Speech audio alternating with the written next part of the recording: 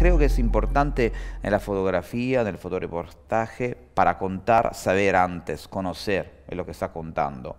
Y entonces no es solamente conocer qué es Paco, más toda la gente que está alrededor del Paco, la familia, la problemática, qué es una villa. Yo a la época empezaba a entender que era una villa, que vivía adentro, por qué nació el Paco, cuándo nació, todo esto. Por esto, eh, para entender todo esto fue un largo tiempo.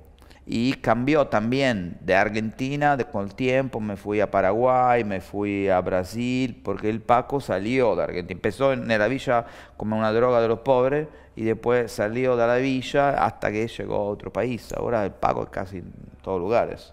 Es una droga importante que está matando un montón de gente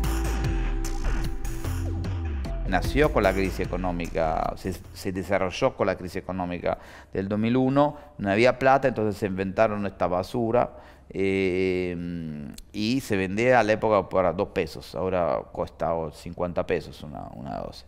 Y eh, el efecto es muy fuerte y dura pocos segundos y da una dependencia total.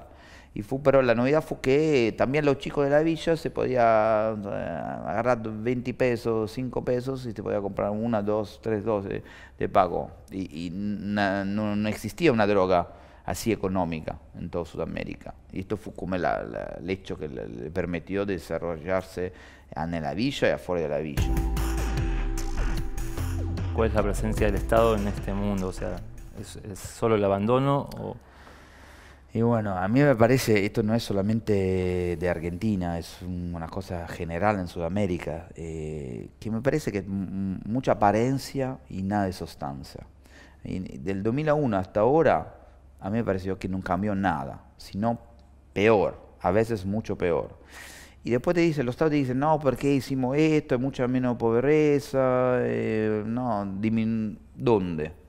Yo creo que un político tendría que hacerse un buen recorrido en toda la, parte de la villa, la, pobreza de, Buenos Aires como de otra ciudad, porque me parece que concretamente no se ha hecho nada.